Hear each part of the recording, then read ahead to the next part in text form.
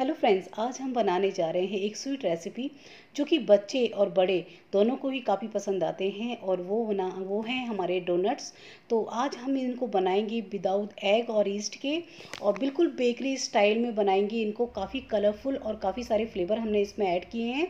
तो चलो recipe start कर लेते हैं।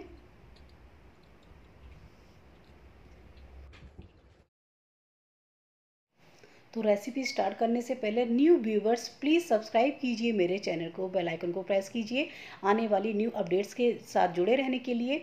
तो यहाँ पर हमने ले लिया है एक बाउल और यहाँ पर हम इसमें डालेंगे 250 ग्राम मैदा।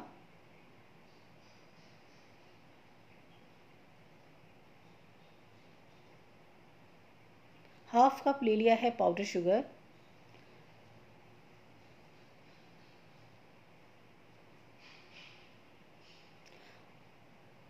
एक पैकेट ले लिया है इनो, और ये पूरा पैकेट हम इसमें डाल देंगे।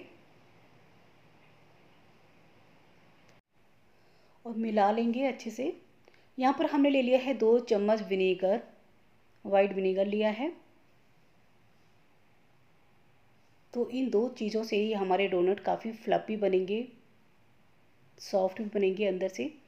और यहाँ पर ले लिया हमने एक कप दूध। और हम दूध डालते हुए थोड़ा थोड़ा इसका हम डो रेडी करेंगे। सॉफ्ट डो तैयार करना है हमें डोनट के लिए। एक साथ सारा दूध नहीं डालना है धीरे धीरे डालते हुए सॉफ्ट डो में हम इसको तैयार करेंगे। और अब हम यहाँ पर डाल देंगे थोड़ा सा पानी। मैंने आधा कप इसमें दूध का इस्तेमाल किया है और बिल्कुल दो तीन चम्मच के करीब मैंने इसमें पानी डाल के इसको सॉफ्ट डो बना लिया है। यहाँ पर मैं दो चम्मच डाल दूँगी बटर। रूम टेम्परेचर में रखा हुआ बटर है और इसको डाल के अच्छे से गूंद लेंगे आटे को और ऊपर से थोड़ा सा बटर से इस तरह से लगा के इसको अब रेस्ट पे छोड़ेंगे। कम से कम 20 मिनट के लिए इसको रेस्ट पे छोड़ देंगे। और गर्म जगह पर रखना है इसको। तो कपड़े से ढकते हुए और ये देखें 20 मिनट बाद हमारा सॉफ्ट एकदम डो रेडी हो चुका है। अभी हम इसको इस तरह से मस लेंगे इससे क्या होगा, और भी ज़्यादा फ्लपी हो जाएगा हमारा आटा डो। तो ये करना बहुत ज़रूरी है, आप भी इसी इसी तरह से कीजिए। दो तीन मिनट के लिए कम से कम ऐसे लगातार कीजिएगा।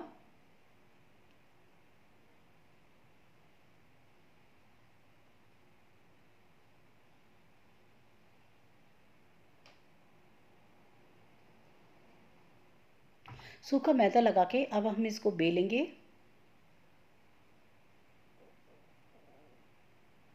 इसको ज़्यादा पतला नहीं बेलना है हमें, रोटी जैसा नहीं बनाना है। इसको हम थोड़ा मोटा ही रखेंगे। ये देखें इस साइज़ में। और यहाँ पर ले लिया हमने एक बड़ा साइज़ का गिलास। और ये छोटा सा कटर है, अगर आपके पास ये नहीं है तो आप किसी छोटी सी बोतल का ढक्कन ले लीजिए, उससे भी बना सकते हो।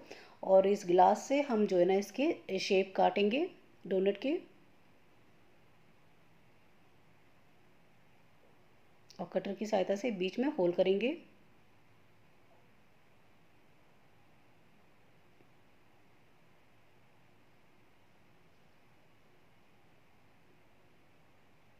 सभी हम इसी तरह से बना बना लेंगे डोनट।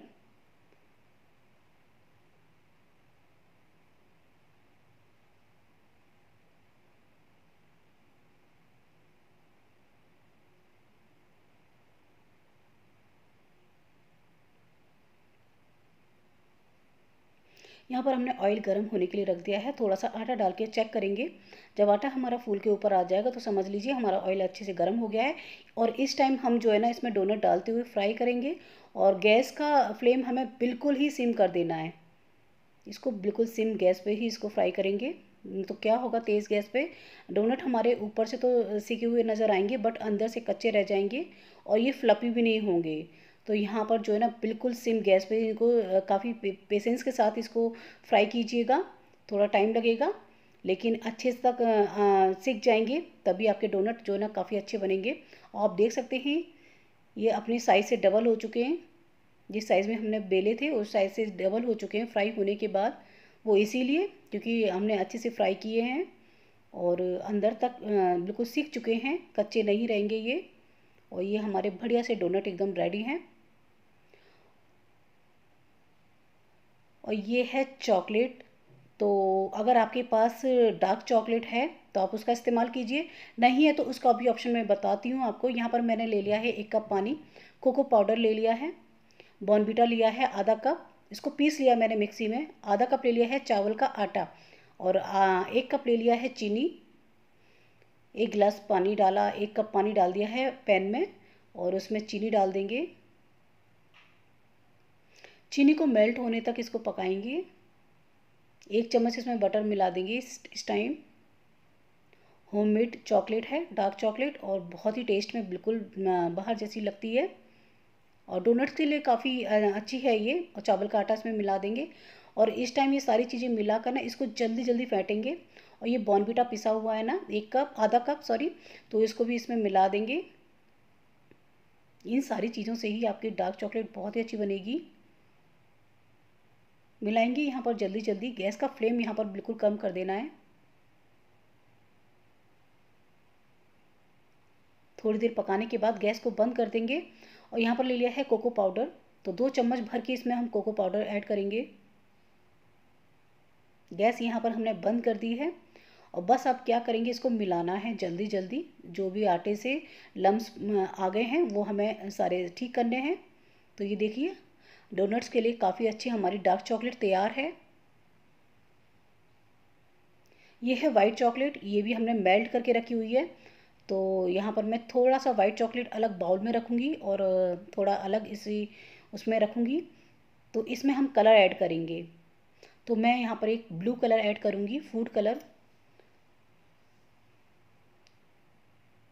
ये वाला फ़ूड कलर है। ये बहुत ही अच्छे, इसमें काफ़ी सारे कलर हैं। आप चाहें तो इसमें सारे कलर ऐड करके आप ट्राई कीजिए। और ये हमारा बढ़िया सा फ़ूड कलर तैयार है, ब्लू में। बहुत ही सुंदर सा और इस तरह से डोनट स्टिप करके ये हमारा एक फ्लेवर तैयार है।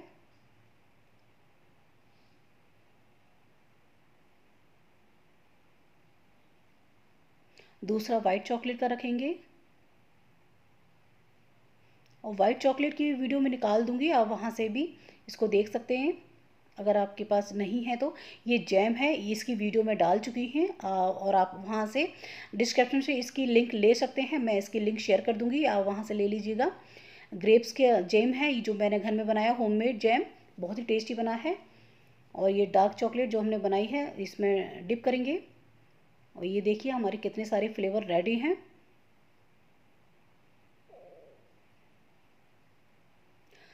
और मेल्टेड वाइट चॉकलेट से हम इसमें डिज़ाइन को क्रिएट करेंगे।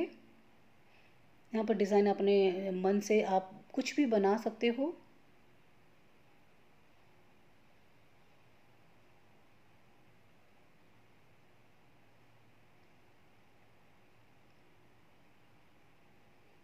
और ये देखिए कितने सुंदर से हमारे डोनट्स एकदम बनके तैयार हैं।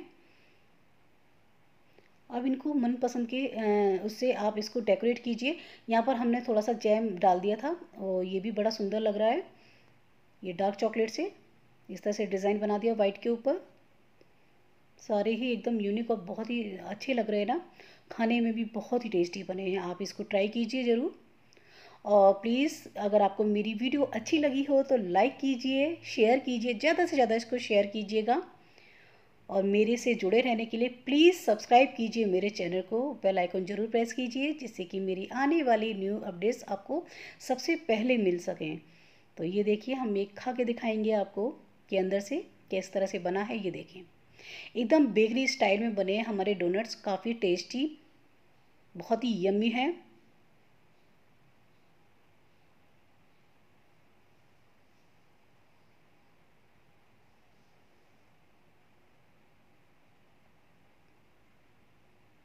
इन्जॉय कीजिए वीडियो को।